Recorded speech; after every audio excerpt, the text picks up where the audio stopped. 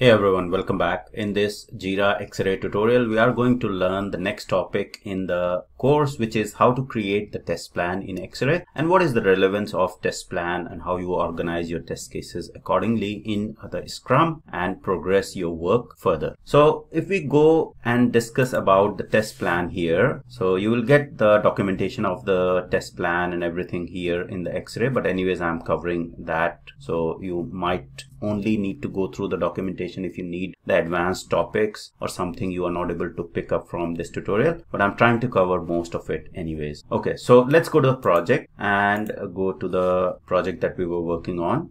Now what exactly is uh, the test plan? So if we talk about the traditional test plan the concept is basically to articulate in the plan what exactly is the scope of testing right? Very high level. What is the scope of testing? What are we going to test? What is in scope, out of scope, what are the timelines when we are going to test, who is going to test, the test data requirements, and all of those things that need to be placed upfront or thought upfront before we can go ahead and jump into the testing, right? So brief planning as such needs to be done. Now in traditional approaches, the plan was a lengthy sort of document, but in agile approaches, we do not have that much of flexibility to keep creating those plans in each and every sprint. There are plans already for the release. So there will be a plan that will be done for two to three months release, say for example, a quarterly release, that will be a high level plan. But then every sprint we have to plan our activity or testing activity as well. So how do we manage that planning for the sprint? So Xray provides that test plan feature to organize our testing activity for a particular sprint as well as the whole release as well. So we can track what we are doing in the sprints into two to four week cycle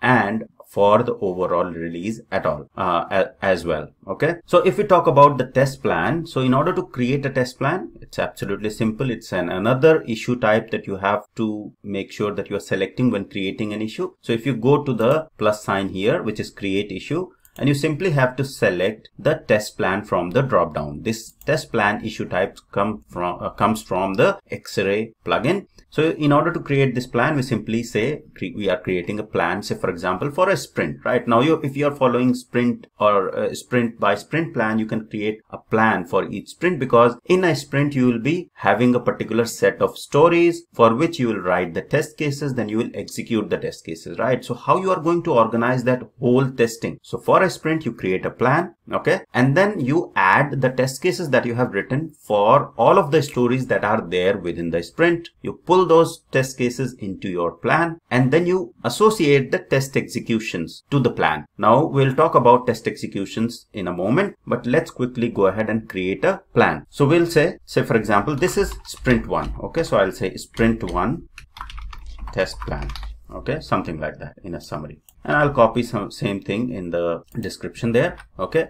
Now one important thing here is to make sure that you are selecting the version or release okay? So at the moment that release option is not shown here because that field is not displayed okay? Maybe that's not configured as of yet. But when we'll edit we should be uh yeah fixed version. Yeah so this, this is there right? So release is basically the fixed version. So if the versions are defined. Now whenever you do the testing testing within the sprints. Okay, you are not doing the testing just for the sake of it. You will be basically releasing the software to production, right? Now, whatever testing you are doing for the stories, they'll be associated to some release version. So you select the release version from the drop down in your actual projects, whichever version you are testing these all stories for. That way, what will happen is, say for example, your release is planned after two months. Okay. Now within those two months, there will be four to five sprints altogether. Now all of the work that you are doing in a plan, test plan. So for example, sprint one plan, you will be adding all of the test cases. You will be doing all of the execution and then you will be also associating that plan with the further final release that that will be happening after two months. Okay. So each of the sprint plan will be then associated with the higher level release. And when you will go and see, search all the release items or the work that has been done, the testing, everything will be there displayed properly. Okay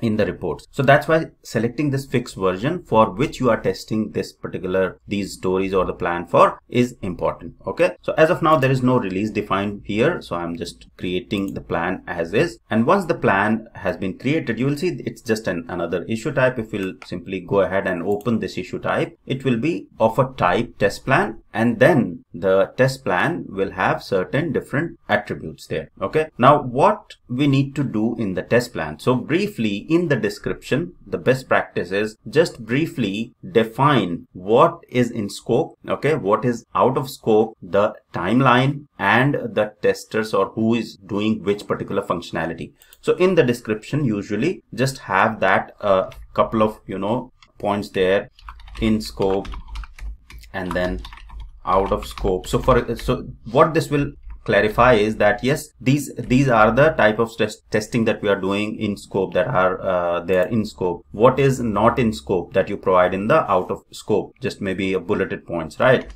And then uh, the timeline right? So timeline basically when a person is doing what or the responsibilities who is doing which particular feature in terms of people there right? So you save that. So this information will then get saved for a particular plan. And tomorrow if you have to come back and refer then you can see what was out of scope in this particular sprint what was in scope accordingly. Okay? Now this plan has been created. Now plan will have the test cases that we want to execute. Okay? So traditional plan is different. This is wherein we are just planning for the sprint and we need to add the test cases within this particular plan. Now, in order to add the test cases in the plan, you simply click on this add tests. Okay. So it's similar interface. So in the test section, you will see that you have the add tests. Simply select the existing test if you want to add the existing tests or tests from the test sets. Okay. If say, for example, you have created a test set for a particular sprint. Okay. Now you can go ahead and click on this test set and simply select that test set that you have created for a sprint one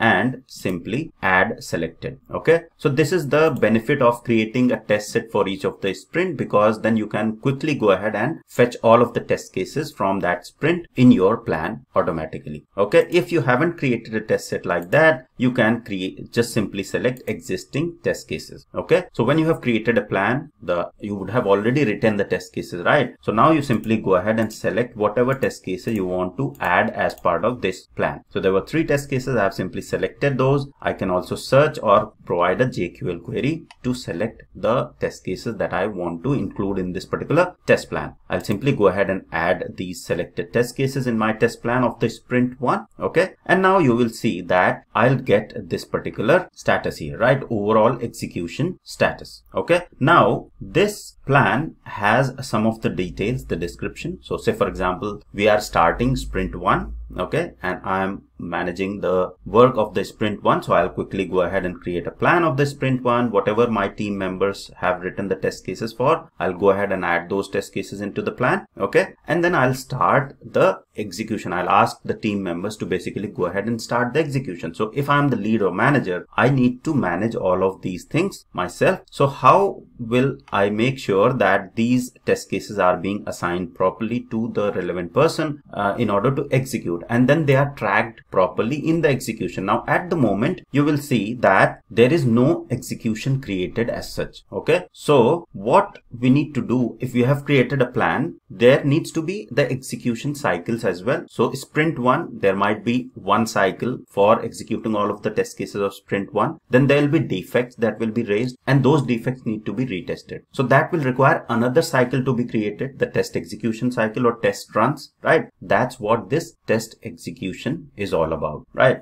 So here we'll say that, okay, let's create a execution cycle, the first cycle, first execution or test run for this particular test plan. So we'll simply select all tests, okay, which will create a test execution, okay, for the test plan that we have written, right? So this is the summary. You can update that as well. So we'll say test execution for the test plan, right? So whatever test plan that we have created okay so the number will be taken and you can update it, as well. So we'll say sprint sprint one just to make it more clear okay? And then this is the summary of that execution that will get created and then zoom in and create okay? So the execution will get then created okay? With this execution now all the execution that will happen will get tracked as part of this execution in the plan okay? So you understand the hierarchy. The plan test plan will have first cycle or test run wherein all the execution will happen okay and then so you'll see this execution got created. Let's go back to the plan which is we go back. And now as a lead i need to assign the test cases. So test execution has been created right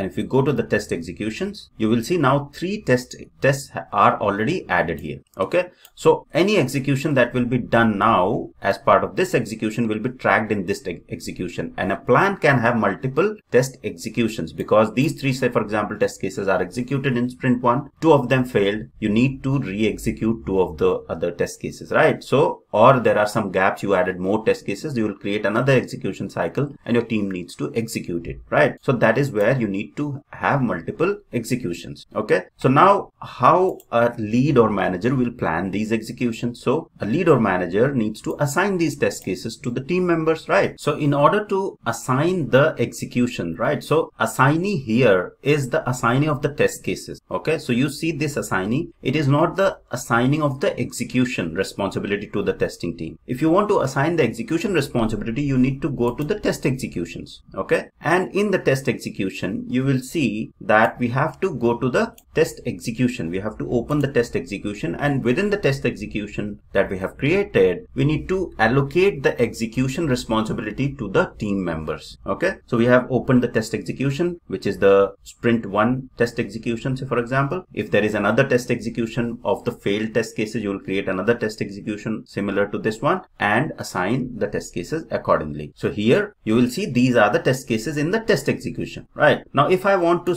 assign these to different team members, right? So if you just scroll in the right hand side, you will see in the actions here in the ellipsis here, you simply click on the ellipsis and you can assign it to the relevant testers within your team. So if I click on assign, you will see assigning the test run. And then from here you can select the person who needs to execute these test cases right? So at the moment i just have one user. I haven't added more users but in your cases you will have your team there and they will be able to uh, or your lead will be able to select relevant members of the team and assign say for example they selected this person rcv jira okay? And then assign this execution, this run, the test run to the person, okay, who is going to execute, right? We can select the column as well here and you'll see the test run assignee, okay? So test run assignee, if you select and simply say done, you will see who has been assigned the execution of these test cases, okay? So at the moment, by default, it's only one user. So you'll see only RCV Jira there. But if I go ahead and change this to unassigned, okay or some other user you will see that the test run assignee will be updated accordingly. Okay? So this is basically how the lead or manager will go ahead in the execution and plan the execution for a particular sprint or a release. Now here i have taken an example of the sprint because this is kind of a usual practice in the uh, agile testing in scrum. Okay? So the execution cycles or the test runs are the, are created test runs are assigned to the team members and then execution happens. If there is failure another test run will be created and associated to the plan. So this way you will be able to manage all of your testing activities within jira xray using x uh, using test plan and the test execution properly and interlinking them properly. So the traceability will be maintained and your reports will be absolutely perfect. Okay? So this is one of the uh, thing about the test plan. Now if we go back okay? Let's see how you are going to do further actions within the test plan. So here you can see that we have some of the test cases there right? Now you can also have the execution on different test environments if you have defined the test environment. So for example test execution on sit environment or on the uat environment. You can also manage that from this drop down here when the test environments are defined okay? Uh, updating the column what columns you want to see here you can update these columns from here okay? And the other important thing is viewing this overall plan on the board. If you simply click on view on board it will open a board okay and it will show you overall execution status and the plan details at a board level hierarchical. Okay so let's see how the the board will show. So you'll see this is the test plan board okay? And you'll see sprint one test plan right? And you'll see this is a board wherein all the test cases that are included here are basically listed here in the list right? And you can see different options around the test environment, uh, switching to flat view, etc. are all available here. Okay, so this is basically board view. I'll touch base more on the board view in the upcoming tutorial. So that's all about the test plan in Jira Xray. I hope it was helpful. Thank you very much for watching.